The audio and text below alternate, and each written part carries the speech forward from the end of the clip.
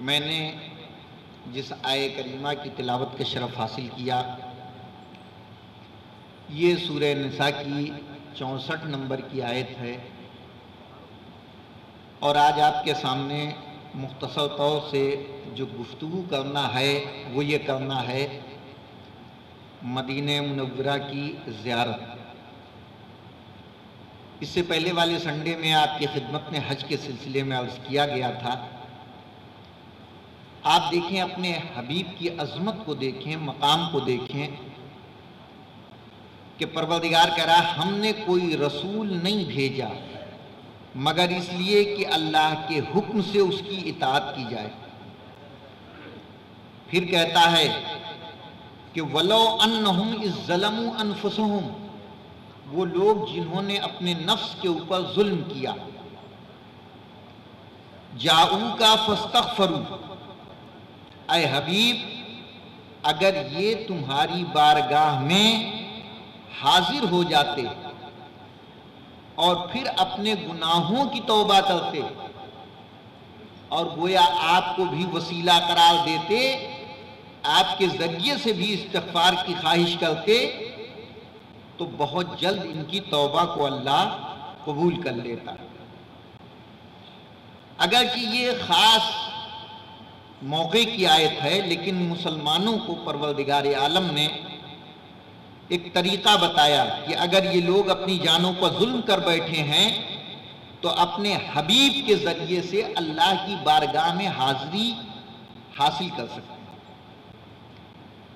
अपने पुष्ट पे गुनाहों के बोझल को हल्का कर सकते हैं।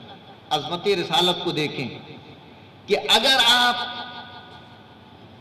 रसूल की बज़ में हाजिर होकर इस्तफार करते हैं तो बहुत जल्द कबूल होने के इम्कान हैं। इसलिए कि अल्लाह ने खुद कहा है कि रसूल की बारगाह में आकर अपने इस्तफार का इजहार करो, तौबा करो तो अल्लाह बहुत जल्द जो है उसको राज़ी कर देने वाला है कबूल कर देने वाला। है आप देखें पैगंबर के लिए परवदिगार ने क्या कहा? इस रमयता वमा रमयता इस रमयता लाकिन अल्लाह रमा। अः पैगंबर, आपने करिया नहीं मारी।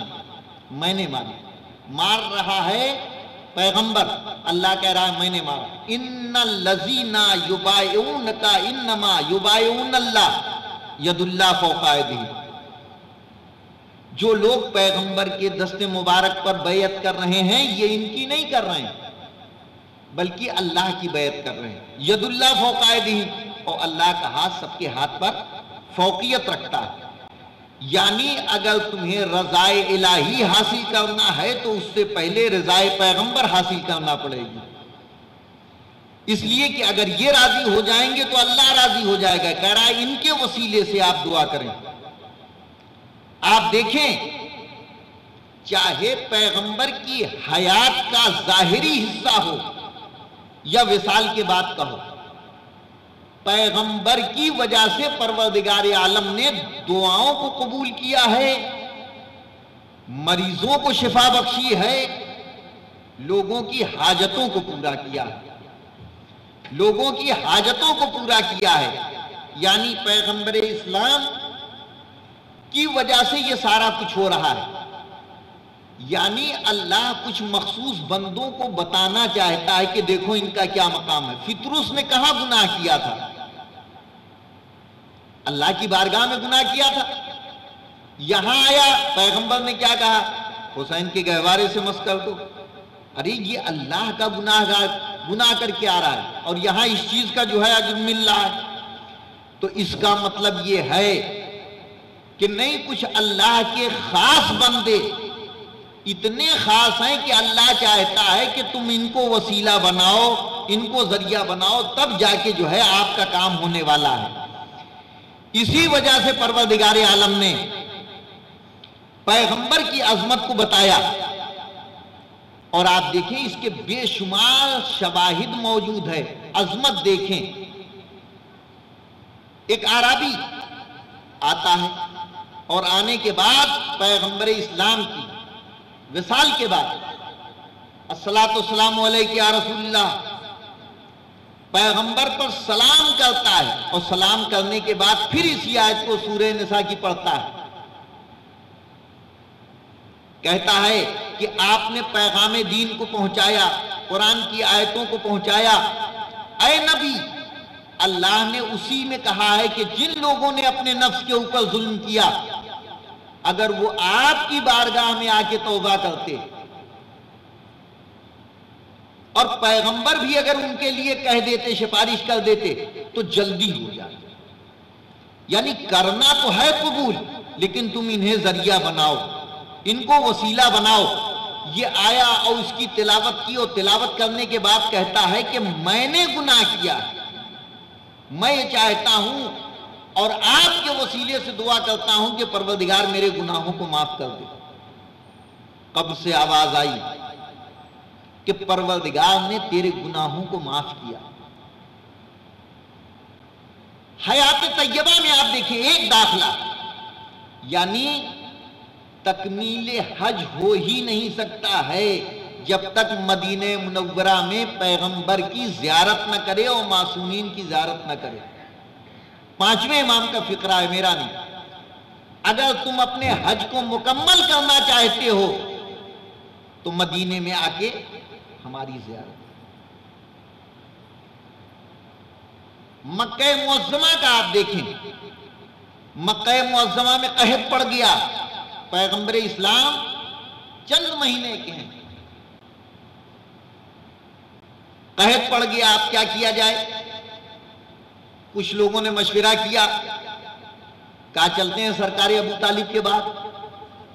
देखिए, खाली अली ही मुश्किल कुशा नहीं थे, अली का बाप भी अपने जमाने का मुश्किल कुशा था।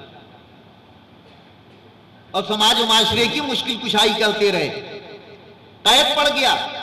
पैगंबर इस्लाम को अपनी आगोश में लिया और खाने काबा के पास आए। खाने काबा के पास आने के बाद हाथों पे बुलंद किया।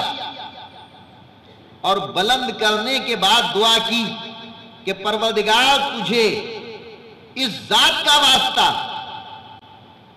इस जात का वास्ता इसकी मुश्किल को आसान कर दे। आपकी उम्मत है, आपकी रियाया है, आपने इन्हें खल किया है। ये हलाकत के करीब है, लिहाजा जो है इनके ऊपर बारान रहमत नाजिल फरमा। इतनी बारिश हुई, इतनी बारिश हुई कि लोगों को खदशा होने लगा, कहीं हरम को नुकसान न पहुँच जाए। यानी आप ज़िंदगी में भी रहमत बने रहे विसाल के बाद भी रहमत बने रहे। और बहुत सारी मिसालें हैं। ऐसा नहीं है। आपकी ज़िंदगी में भी मिसालें मौजूद हैं और आपके विशाल के बाद भी मौजूद हैं। आप देखें खलीफा दुयुम के जमाने में कहत पड़ा, अजमत रसालत को देखें। ये हाजी जो हज करने जा रहे हैं, ये इसकी तकमील कहाँ होगी? मदीने की जियारत को। लेकिन हम पैगंबर की अजमत को तो समझ लें कि इसकी जियारत की क्या फजीलत है, यहाँ हमें क्या करना चाहिए, क्या नहीं करना चाहिए। इनके जमाने में कहत पड़ गया तो बिलाल इब्ने हारिस पैगंबर इस्लाम की कब्र मुताहर के पास आया और आने के बाद उम्मत के लिए बारिश की दरख्वास्त की। कैसे दरख्वास्त की? कि अय पैगंबर, आपकी उम्मत हलाक हो रही है। सरवर कायनात ने ख्वाब में, उसके बाद जो है दुआ फरमाइए। कि वो हलाक, आप दुआ कीजिए। बिलाल क्या कह रहे हैं? आपकी उम्मत हलाक हो रही है। आप दुआ कर दें अल्लाह की बारगाह में, ताकि ये उम्मत हलाकत से बच जाए। खूब बारिश हुई। खूब बारिश हुई। यहाँ तक के मदीना हरा भरा हो गया। ऐसा नहीं है, देखिए, रवायतें अपने यहाँ भी हैं। लेकिन दो एक रवायत इसलिए आपकी खिदमत में अर्ज़ कर रहा हूँ कि खाली हम ही वसीले के कायल नहीं हैं, और भी मसालिक वसीले के कायल हैं। हम जाएँगे मदीने की जियारत करेंगे। तो जैसे पैगंबर अपनी जाहरी हयात में कायनात को अपने नूर से मुनवर कर रहे थे, वैसे ही विशाल के बाद भी फैज पहुँचा रहे हैं। और इंशाल्लाह कयामत तक पहुंचाते रहेंगे। एक मरतबा मदीने मुनवरा में फिर कहत पड़ा। कौन? जिसे जौजय रसूल कहते हैं। हज़रत आयशा के पास लोग गए, क्या किया जाए? भाई, रसूल की जौजा रही हैं, क्या किया जाए? अब देखिए, इन्होंने भी वसीले का तरीका बताया। कहा, आप जाएँ कब्र पैगंबर के पास। इससे लगता है कि उस वक्त कब्र पैगंबर पे साया हो चुका था। कहा, जो कब्र के ऊपर साया है, इसमें एक सुराख कर दिया जाए। एक हल्का बना दिया जाए, ताकि आसमान और कब्र रसूल के दरमियान जो है, कोई रुकावट ना हो, कोई हिजाब ना हो। और फिर दुआ की जाए कि परवरदिगार, तुझे साहिब कब्र का वास्ता बारिश बरसा। कुछ अफराद गए, इनके मशवरे पर अमल किया और अमल करने के बाद जो है, इतनी बारिश हुई, इतनी बारिश हुई कि पूछिए नहीं। ये सारी रवायतें आपको कहा मिल जाएँगी? अपने यहाँ भी मिलेंगी। ये जो तीनों रवायतों को मैंने अर्ज़ किया, तीनों रवायतें अहले सुन्नत की किताबों में मौजूद हैं। और भी मिसालें मौजूद हैं। लेकिन आप देखें, खुद पैगंबर इस्लाम ने क्या कहा? जो मेरी ज़िंदगी में मेरी जियारत करेगा या मेरी वफात के बाद करेगा, विसाल के बाद करेगा। अय अली, तुम्हारी जियारत चाहे तुम्हारी ज़िंदगी में करेगा या तुम्हारी शहादत के बाद करेगा। हसनैन की जियारत जो उसकी ज़िंदगी में करेगा या इनकी शहादत के बाद करेगा, परवरदिगार आलम, इसकी जियारत के बदले पर इसके ऊपर जन्नत को लाजिम करार दे देगा। हर मासूमीन की जियारत का कम अज कम यह अजर है कि परवरदिगार आलम उसके ऊपर जन्नत को लाजिम और वाजिब कर देता है दूध पौधे मोहम्मद वाले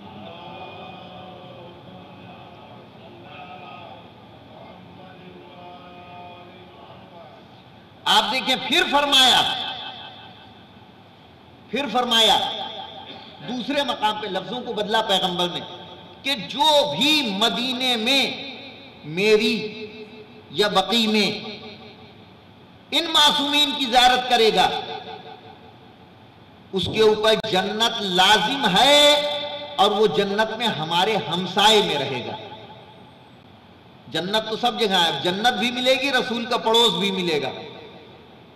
फिर तीसरे मकाम पे फरमाया, जो भी हमारी जाहिरी ज़िंदगी में या विसाल के बाद हमारी या इनकी जियारत करेगा मासूमीन की? वो उसके लिए हम कयामत की सख्तियों को आसान कर देंगे। उसके हिसाब में आसानी हो जाएगी और जन्नत उसके ऊपर लाजिम हो जाएगी।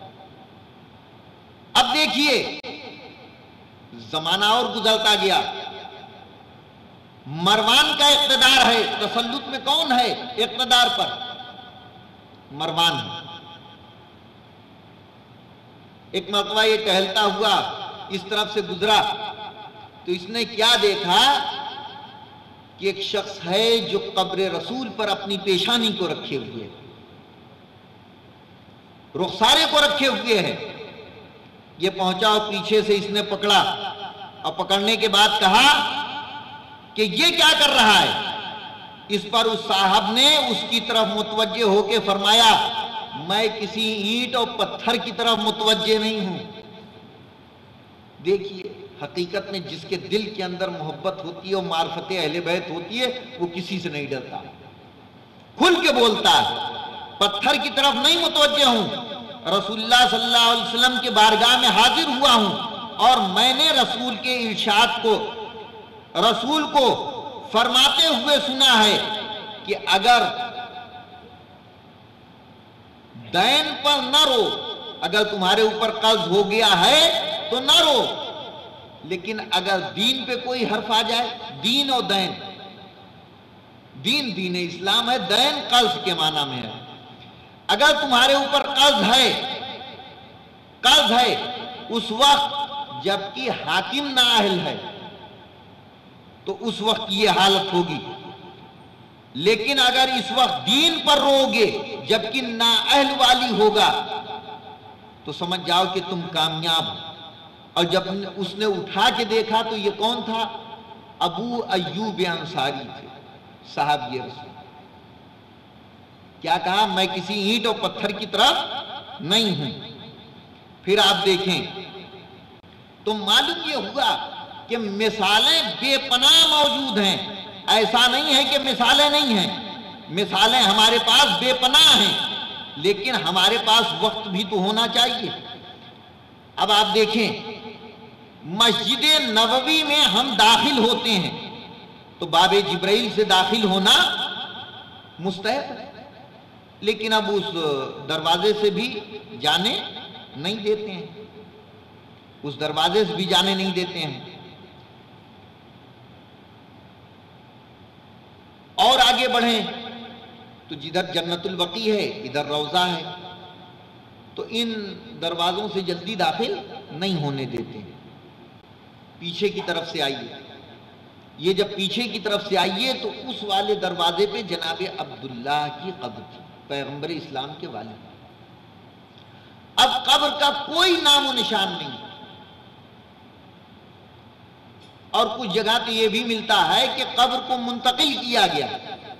वहाँ से खोद के दूसरी जगह मुंतकिल किया गया।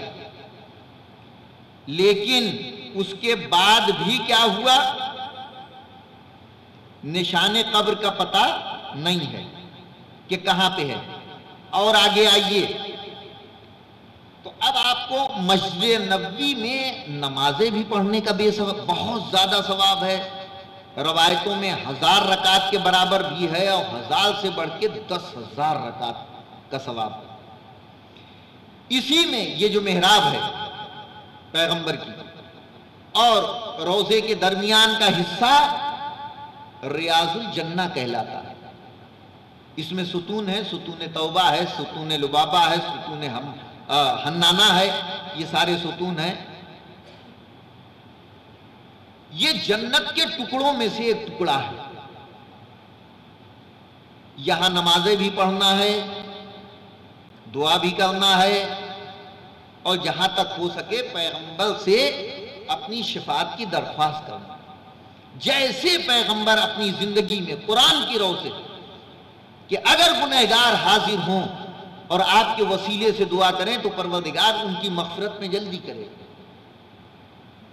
तो अब जब हम यहाँ से जा रहे हैं तो हमें ये सारी चीज़ें देखना चाहिए। इसमें मेहराब की जगह जहाँ पैगंबर पढ़ रहे थे, दूसरी मेहराब है जहाँ पैगंबर नमाज़ तहजद पढ़ते थे। इसी में शहजादी का घर भी था। शहजादी का घर भी था। अब देखिए यहाँ पर कि रवायतें जन्नतुलबकी के लिए हैं, शहजादी की कब्र के लिए। बाज रवायतों में है कि आप अपने घर ही में दफन लेकिन यहाँ पर अपने बहुत बड़े आलिम, शेख सदूक रहमा, इनकी किताब है मल्ला याजरुल फ़कीर फ़िका की किताब है। इसमें सारे मसाइल मौजूद हैं। ये कहते हैं कि अल्लाह ने मुझे भी तौफीक दी, हज और मैंने हज किया। और हज के बाद मदीने मुनवरा गया। बाब जबरील से दाखिल हुए। जब बाब जबरील से दाखिल होंगे तो सबसे पहली कब? पैगंबर इस्लाम की आएगी जब दाखिल हुआ, और वो वहाँ पे, जहाँ पे तमाम होता है, वहाँ पे भी एक सुतून है। इसी सुतून से बिल्कुल मिला हुआ शहजादी का घर था।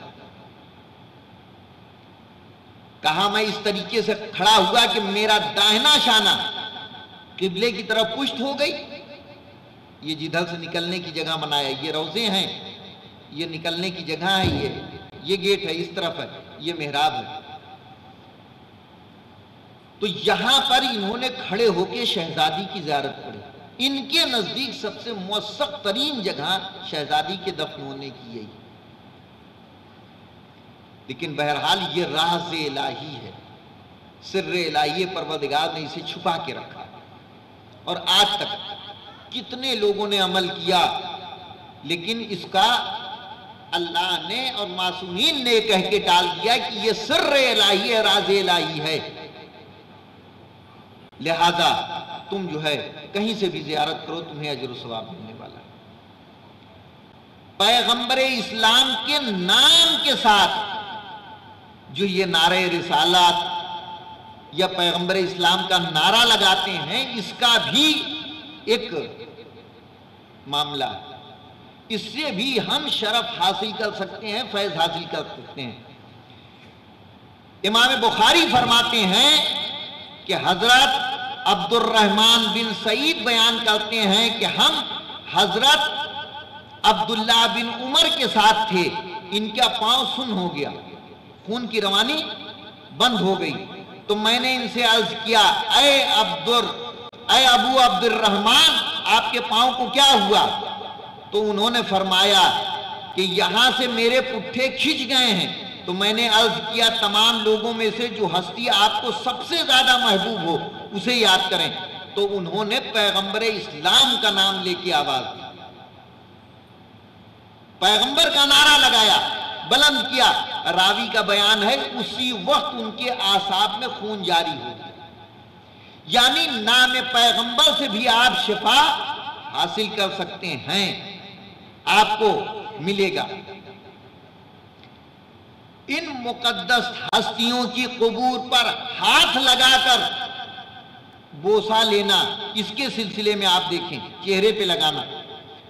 नूरुद्दीन अबुल हसन समहूदी इमाम अहले सुन्नत लिखते हैं कि जिस वक्त बिलाल शाम से वापस आए, पैगंबर इस्लाम की जियारत के लिए तशरीफ़ लाए तो पैगंबर इस्लाम की कब्र मुबारक के करीब आए और बैठे और गिरिया करने लगे और अपने चेहरे को कब्र मुबारक पर रखा, रुखसारों को रखा और रखने के बाद गिरिया किया।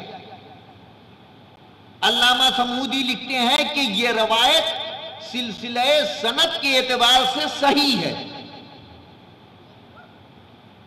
यानी पैगंबर के कब्र पे अपने रुखसारों को रखना, अब चाहे जरी मुराद ले ली, चाहे जो, लेकिन कोई असबाब वहाँ फराम नहीं। आप ऐसा करने के लिए जाएँगे तो मुतवा आपको पकड़ के लेके जाएगा और डाल देगा नीचे। अब सबूत देखते रहिए, प्रूफ देते रहिए। लेकिन कहने का मकसद यह है कि ये सारी चीज़ें मौजूद हैं। और फिर आप देखें कि जनाब अब्दुल्ला इब्ने उमर, इनसे भी रवायत है कि ये जब भी पैगंबर की कब्र पे जाते थे, अपने दाहिने हाथ को रखते थे और फिर बोसा देते थे और जनाब बिलाल अपने रुखसारों को रखते थे। तो मालूम हुआ कि नहीं, इनसे जो है बिल्कुल किया जा सकता है तवसुल और कभी कभी आप देखें, जनाब उस्मान, तीन है आप देखें। उस्मान इब्ने मजमून सहाबियों में रवायत है कि सबसे पहले जन्नतुल बकी में, असहाब पैगंबर में, उस्मान इब्ने मजून की कब्र। फिर दूसरे कौन है? उस्मान इब्ने हुनैफ। तीसरे कौन है? उस्मान इब्ने अफान। ये जो है उस्मान इब्ने हनीफ, कहते हैं कि नाबीना शख्स पैगंबर इस्लाम के पास आया, इनकी हयात में पैगंबर। और अपने नाबीना होने के मुतालिक रसूल से शिकायत करने लगा। तो पैगंबर ने इससे फरमाया कि अगर तुम ये चाहते हो कि मैं दुआ करूँ तो जरा सब्र करो। वो शख्स कहने लगा, या रसूल्ला मेरे लिए ये नाम नाबीनाई बाईस मशक्कत है। रसूल इस्लाम ने उससे फरमाया, जाओ, वज़ू करो और दो रकात नमाज़ बजा लाओ। फिर इसके बाद इस तरीके से दुआ करो परवदगार मैं तेरी बारगाह में हूँ और तेरे पैगंबर के वसीले से दुआ करता हूँ। लिहाजा मुझे बिना ये ताकत ये तरीका किसने बताया?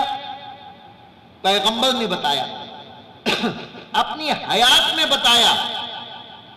और उसने उसी तरीके से दुआ की। यहाँ तक के पैगंबर को शफी करार दिया तो परवरदिगार आलम ने उसे बिनाई दे दी। इब्ने हुनैफ ने कहा, खुदा की कसम, हम अभी वहाँ से निकले नहीं थे। क्योंकि हमारी गुफ्तगु तवील हो गई थी। तो वो शख्स जब भी हमारे पास से गुजरता था, ऐसा लगता था कि ये कभी अंधा था ही नहीं। अंधा था ही नहीं। उसके बाद आप देखें कि खुद जनाबे उम्मे सलमा, ये भी जोजय रसूल है। और रवायतों में मिलता है कि इनके पास पैगंबर इस्लाम का मुँह मुबारक था, बाल था। जब भी कोई मरीज़ आता था तो इन बालों को जनाब उम्मे सलमा पानी में डालती थी। और पानी निकाल लेती थी। बाल को फिर महफूज करके रख देती थी। और जब उसे पिलाया जाता था तो वो शिफायाब हो जाता था। जन्नतुल बकी में भी बेपनाह असहाब, सईद इब्ने जुबैरा, सईद इब्ने माज, अबू अयूब अंसारी, उसके बाद और बहुत सारे ये उस्मान इब्ने मजून, इन सब की कब्र है, लेकिन कहीं पे किसी की कब्र का निशान नहीं मालूम। गिराने से पहले, ये जब जन्नतुल बकई ढाया गया, इससे पहले इन लोगों के कब्रों के निशान थे। दस हज़ार से ज़्यादा हुफाज कुरान, जनाब उमुल बनीन के कब्र। उसी वाली सफ में जनाब सफिया रसुल्ला की फुफी। फिर आप देखिए जहाँ पे मासूमीन की कब्रें हैं। जनाबे अब्बास इब्ने अब्दुल मतलब रसुल्ला के चचा, मौलाए कायनात की वालदा, फातिमा बिनते असद, हमारे चारों आइम्मा, उससे जरा सा आगे बढ़े। थोड़ा सा रास्ता बनाया जैसे अपने कब्रिस्तान में बनाया है। जरा सा आगे बढ़िए तो अजवाज पैगंबर दो रसूल की बीवियों को छोड़ के जनाब खतीजतुल कुबरा की मक्के मुआजमा में, जन्नतुल मोल्ला में। और एक और कहाँ पे है नहीं मालूम, बाकी सारी अजवाज की। जन्नतुल बकी में है। जन्नतुल बकी से अफजल तरीन कोई कब्रस्तान नहीं। उसके बाद अगर यहाँ पे है तो जन्नतुल मोल्ला इसलिए कि ये परवरदिगार की मर्ज़ी से इसका इंतखाब रसूल्ला ने किया। और इसीलिए रसूल अपनी हयात में भी इन कब्रों की जियारत करने जाते थे। और आगे बढ़े, वक्त तेज़ी के साथ आगे बढ़ रहा है। मस्जिद कुबा, जो इस्लाम की यहाँ पे आने के बाद सबसे पहली और खुद कुरान ने उसके लिए कहा कि इसकी बुनियाद तकवा इलाही पे रखी गई। जब वहाँ मक्के पे पाबंदी आयद हुई और मदीने वाले वहाँ नहीं जा सके। क्या किया जाए? और लोगों ने शिकायत करना शुरू की। तो हुक्म इलाही से इसलिए कि पैगंबर के लिए क्या है? वमा यंत को अनिल हवा इन हुआ इल्ला वही नहीं हुआ। पैगंबर वही इलाही के। एतबार से ही बातें करते हैं। कभी भी बगैर वही इलाही के बातें नहीं की। कहा, जो भी मस्जिद कुबा में दो रकात नमाज़ पढ़ेगा, उसे एक उम्रे का सवाब मिलेगा। इसी मस्जिद कुबा में जनाब इब्राहिम, जो आपके बेटे हैं, इनकी वालदा, इनका भी गुजरा वहाँ से और आगे बढ़े, मस्जिद किबलतैन। यानी जब आप रोड से दाखिल होंगे तो सामने की तरफ़ किबला है। इसी मस्जिद में किबला बदला दो हिजरी में। जिसके लिए खुद कुरान कह रहा कह रहा है, कद नरा तकल्लुबा वजह का समा फलन पैगंबर, हमने बार बार आपके चेहरे को आसमान की जानिब देखा। हम आपकी मर्ज़ी के मुताबिक किबले को बदले देते हैं। तो यही पे किबला बदला कैसे? पैगंबर नमाज़ पढ़ रहे थे। मौलाए कायनात पीछे थे असाब थे। बीच नमाज़ में हुक्म आया। मैं कहूँगा परवरदिगार, ये बीच नमाज़ में क्यों जनाब जकरिया को, जनाब यहिया की बशारत देने के लिए बीच नमाज़? वह हुआ कायम युसल्ली फिल मेहराब वो खड़े हुए मेहराब में नमाज़ पढ़ रहे थे। यहाँ किबला बदलने के लिए आया तो बीच नमाज़ में कहीं ऐसा तो ना हो अय परवरदिगार, ये बीच नमाज़ में नबियों के पास पैगाम क्यों भेज रहा है? दो मिनट पहले आर्डर आ जाता, या दो मिनट बाद सही? लेकिन बीच नमाज़ में क्यों? तो शायद किसी पे एतराज़ हो कि अली ने सदाए मलक कैसे सुन ली? तो अल्लाह रिकॉर्ड बना रहा था जैसे जकरिया ने सुनी, वैसे अली ने सुनी, जैसे पैगंबर इस्लाम ने सुनी, वैसे मेरे मौला अली ने सुनी। इसलिए कि अना वालियन मिन नूरिन वाहिद, मैं अली एक ही नूर से हूँ। जो रसूल सुन रहे थे, वो अली सुन रहे थे। जैसे ही हुक्म आया, पैगंबर ने कबला बदला। इस तरफ़ थे, इस तरफ़ हो गए। सारे असाब उसी तरफ़ रुक किए रहे। अली मुड़ गए। मैं कहूँगा, अरे मेरे मौला, आप क्यों मुड़ गए? तो शायद आवाज़ आए कि नादान तुझे नहीं मालूम। मैं अली एक ही नूर से थे। जो रसूल सुन रहे थे, वो मैं भी सुन रहा था। इसलिए मुड़ गए। या एक चीज़ और हो सकती है इत्तेबाए रसूल में कोई शक न था। जैसे ही रसूल मुड़े, वैसे ही अली भी मुड़ गए कि जब मेरा आका जो है, आज से इस तरफ़ जो है, किबले की तरफ़ रुक करके नमाज़ पढ़ेगा तो मैं भी पढ़ूँगा। एक दूर पढ़ मोहम्मद वाले।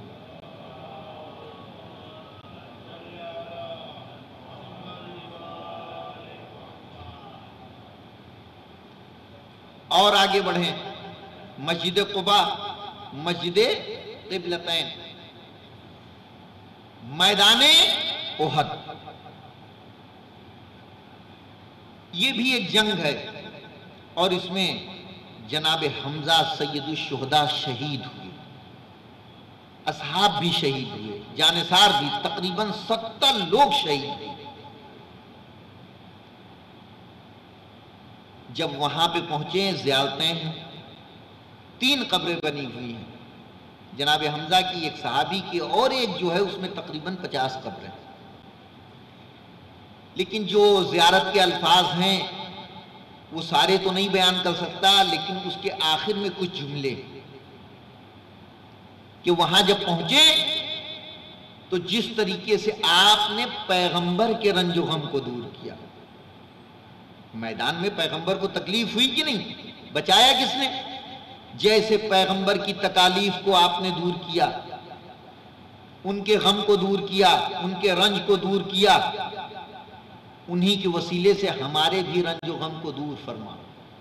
यानी ये वो मकाम है कि यहाँ पर रंजो गम से दूर होने की दुआ करना चाहिए, जियारात के जुमले में जो मिलता है। जंग हो रही थी, दो मिनट आपकी खिदमत में इस सिलसिले में लेना। क्या हुआ? एकदम से फतेह के करीब पहुँच गई। लेकिन वो दर्रे पे जो कुछ लोगों को लगाया था, वो माले गनीमत लूटने के चक्कर में, हासिल करने के चक्कर में भागे और उधर से काफिरों ने हमला कर दिया। और काफिरों ने जो हमला किया तो सब के सब भागे। तीन चार लोगों के लिए मिलता। एक मुआजमा भी है उसमें, जो रह गई। सब भागे। और ये कहते हुए भागे कि पैगंबर कत्ल हो गए। कत को तिला मोहम्मद मोहम्मद कत्ल कर दिए गए। सब भागे। एक मरतबा मेरे मौला ने तलवार को न्याम से निकाला और तोड़ के फेंक दिया। मैं कहूँगा है मौला, आपने न्याम को क्यों तोड़ के फेंक दिया? कहा ये तलवार न्याम में जाने वाली नहीं। अब हिफाजत पैगंबर ज़रूरी है।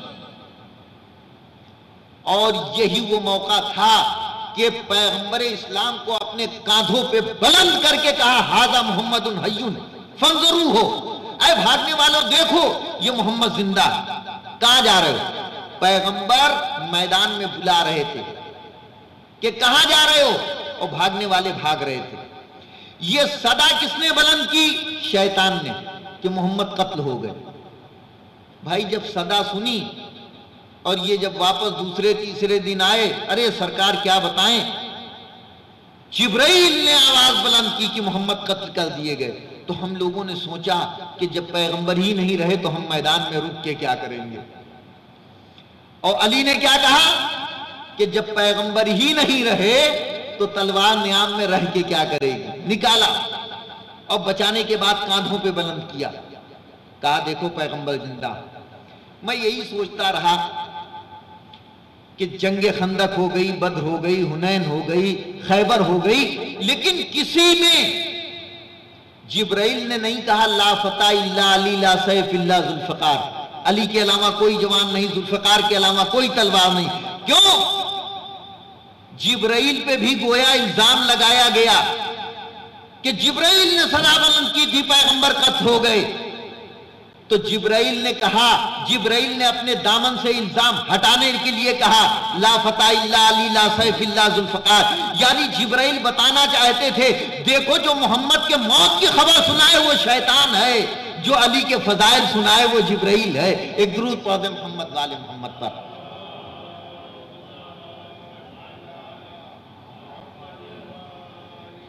मैदान खंदक के बाद, मैदान उहद के बाद क्या है? मैदान खंदक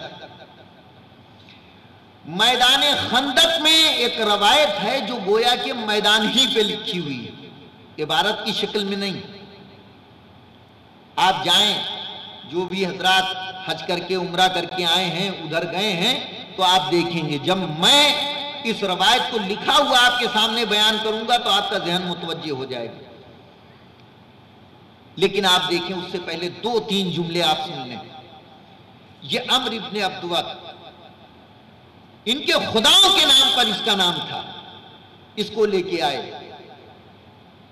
जो रसूल के खैमे की तरफ़ थे, ये भी इसका कसीदा पढ़ने लगा। अरे रसूल अल्लाह ये तो बहुत बड़ा बहादुर है।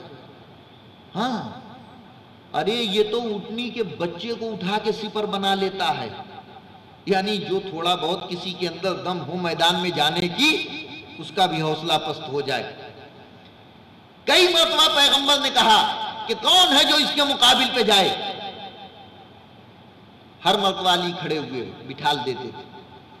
अब कोई नहीं कह सकता कायनात में कि मेरे को जाना था। अली जल्दी खड़े हो गए और चले गए। सारी तफसीलात खंदक नहीं बयान करना। लेकिन जब मेरे मौला ने अम्र इब्ने अब्दवत को कत्ल किया तो तारीख इस्लाम की कुछ शख्सियतें थोड़े से फासले से कत्ल किया, सर को लिया, चलने लगे। ये चिल्लाने लगे, अरे अली, आपने क्या किया क्या किया? क्या हुआ? कहा उसकी जरा नहीं ली, उसकी तलवार नहीं ली। मेरे मौला ने क्या जुमला कहा? हिया लकुम ये तुम्हारे लिए है। ला नाकुल जमान मौता, हम मुल्दों का माल नहीं खाया करते। अब आप देखें, जब मैदान में जाएँगे, आप जियारत करेंगे एक बुलंदी पे पहाड़ है। उस पर एक मस्जिद है, छोटी सी। उसकी भी साइज़ लिखी है, जब आप देखें बहुत छोटी छोटी है। कोई चार मीटर है, कोई तीन मीटर है, कोई बहुत बड़ी नहीं। उस पर लिखा मस्जिद रसूल। ये वो जगह थी जहाँ मैदान खंदक में पैगंबर इस्लाम बैठे हुए थे। जंग चल रही थी। चारों तरफ़ से खंदक खोद दी गई थी सलमान के कहने पर। थोड़ा सा उस सुतून के आसपास पहुंचिए तो थोड़ा सा पहाड़ी के नीचे। मस्जिद सलमान, जहाँ सलमान फारसी भी बैठे हुए मंदिर देख रहे थे। जब मेरे मौला गए थे तो क्या कहा था, जो आज फतेह की खबर सुनाएगा, जन्नत उसे मिल जाएगी। तो जो इबादतें करके जन्नत हासिल नहीं कर सके, जिहाद करके हासिल नहीं कर सके रसुल्ला ने कहा रेस कोस में ले लो। अभी चंद दिन तुम भागने में इतना माहिर थे। अरे रसुल्ला हम नहीं गए, घोड़ा लेके भाग गया। और पहाड़ी पर पहुँच गए, और ये हो गया, वो हो गया।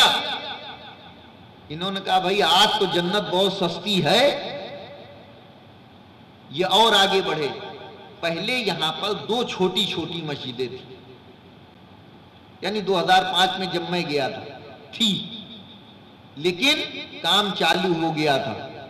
यहाँ पर दो छोटी छोटी मस्जिदें थी और इस पे दो बड़ों के नाम लिखे थे।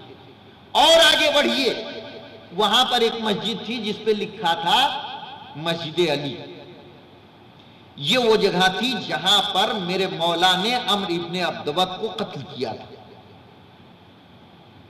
अब बताइए, ये रवायत मैदान पे कैसे लिखी हुई है? मस्जिद रसूल वो जगह है जहाँ पे पैगंबर बैठे थे।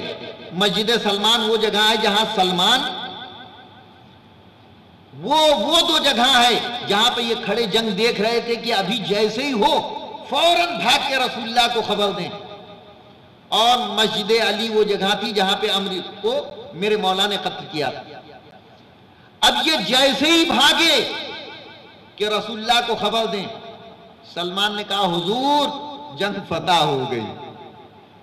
सबके सब भागे। अब जब ये आए और आने के बाद कहा रसुल्ला फतेह कहा, सलमान पहले ही खबर दे चुके। कहा, वो तो मैदान में गए भी नहीं थे। कहा, वो उन्हीं से पूछ लो। कहा, हम तो यहाँ से देख ही रहे थे। खाली इस बात का इंतज़ार था कि तुम लोग उधर से भागते आओ, हम खबर सुना दें। हमको तो मालूम ही था क्या होने वाला है। हमने खबर सुना दी, हम यहाँ से देख रहे थे। हमने कहा, हम क्यों इतनी सारी जहमतें उठाएँ? तो यहाँ भी और मासूमीन ने कहा कि देखो, अगर तुम मदीने में पहुंचो तो इन मुकद्दस मुकद्दस मकामात की जियारत करो, किसी को तर्क ना करो। और मस्जिदें हैं, बेर अली है, दूसरे कुएँ हैं। इसी मस्जिद के पीछे आप देखें, एक मस्जिद है ज़्यादा से ज़्यादा पीछे वाली गली। वहाँ पे एक और मस्जिद है, मस्जिद अली भी है, लेकिन ताला रहता तो बहुत सारी चीज़ें हैं कि जो मदीने में देखने के लायक हैं। इन सुतूनों के पास इबादत करना, ये रियाजुल जन्ना, जन्नत के टुकड़ों में से है। पैगंबर की मेहराब, ये जो है, जन्नत का दरवाज़ा करार पाएगी। लिहाजा अगर हम यहाँ से जाते हैं तो हमें तवज्जो के साथ इन मकाम की जियारत करना चाहिए और ज़्यादा से ज़्यादा इबादत करना चाहिए। अजान गिरामी, यही वो मदीना है जिसे 28 रजब को हुसैन ने अलविदा कहने की तैयारी की। जब मुतालब बैत बढ़ने लगा तो एक मतवा हुसैन ने खुदा हाफिज कहना शुरू किया, काफिला तैयार हो गया। बीबियाँ एक दूसरे से रुखसत होने लगी। चार बरस की बच्ची, पाँच बरस की बच्ची। आप देखें जनाब सोहरा, जाओ तुम भी रुखसत हो आओ। अजीज़ो अली अकबर कहते हैं कि तलवार से अपनी गर्दन को काट देना आसान है, लेकिन सुगरा को क्या जवाब दू? कैसे रुखसत हूँ? अजादारो, जनाब अली असगर, एक मरतबा बहन से रुखसत होना चाहते हैं। कहते हैं, सदक़े में गई, बस अब न करो गिरियो जारी मीर अनीस कहते हैं, सदक़े में गई, बस अब न करो गिरियो जारी असगर मेरा रोता है सदा सुन के तुम्हारी। वो कांपते हाथों को उठाकर ये पुकारी आ आ मेरे नन्हे से मुसाफिर तेरे वारी। अरे छुट्टी है ये बीमार बहन, जान गए तुम। असगर मेरी आवाज़ को पहचान गए तुम। अजादारो जनाब रुबाब, एक मतवा करीब आती हैं। आने के बाद जनाब सुगरा चाहती हैं कि ले लें, लेकिन ख्याल आता है कि मुझे शदीद बुखार है। अगर अपने भैया को लूँगा तो कहीं ऐसा ना हो मेरे शिद्दत के बुखार की वजह से मेरा भैया कुमला जाए। अजादारो सुगरा ने अपनी आगोश में ले लिया, प्यार करना शुरू किया। अदादारो एक एक बीवी आगे बढ़ती है, लेकिन अली असगर बहन की आगोश से किसी की आगोश में नहीं जाते हैं। अदादारो एक मरतबा मारूबाब आगे बढ़ती है, अली असगर आगे नहीं बढ़ते हैं एक मरतबा सरकार सैदुशोदा खुद आगे बढ़ते हैं, चंद कदम सोकरा पीछे हट जाती है, बाबा ज़बरदस्ती न लीजिएगा, मेरे बेटे भैया को मेरी आगोश में रहने दीजिए, मैं झूला झुलाऊँगी, लोरियाँ सुनाऊँगी, अपने भैया के सहारे रहूँगी आजादार एक मरतबा हुसैन करीब गए, कानों में कुछ कहा, लगता है कि कहा अय बेटा, करबला की जंग तेरे बगैर मुकम्मल ना हो सकेगी। आजादारो, जब सोकरा ने समझ लिया कि अब अली असगर चले जाएँगे? एक मरतबा रुखसारों का बोसा दिया, एक मरतबा पेशानी का बोसा दिया, अब जो गले का बोसा दिया तो हुसैन जैसा साबिर इमाम भी बर्दाश्त ना कर सका। आजादारो, मदीने से ये काफिला रुखसत हो गया। सोगरा फरियाद करती रही। अय भैया, मुझे कब लेने आओगे? सयालमुल्लजीन जलम अयामन कलबियन कलबून, बारिलहा बेहक जहरा, व अबी हा व बालिहा व बनिया। परवरदिगार, तुझे इस ज़िक्र का वास्ता, जो भी मरहुमीन इस दुनिया से रुखसत हो गए, उनकी मगफरत फरमा। खसूस जिसके इसाल सवाब की मजलिस है जुल्फ़ार अली जाफ़र अली शरीफ, परवरदिगार, इनकी मगफरत फरमा। इन्हें जवार मासूमीन में जगह इनायत फरमा, इनके वारिसों को सब्र अता फरमा, हाजरीन की दिली हाजात को पूरा फरमा, इमाम के जहूर में ताजील फरमा, हम सबको उनके ऐवान अनसार में शुमार फरमा। एक मरतबा सूर हम और तीन मरतबा सूर तोहद की तिलावत फरमा कर जुल्फ़ार अली, जाफ़र अली शरीफ की रूह को इसार फरमा।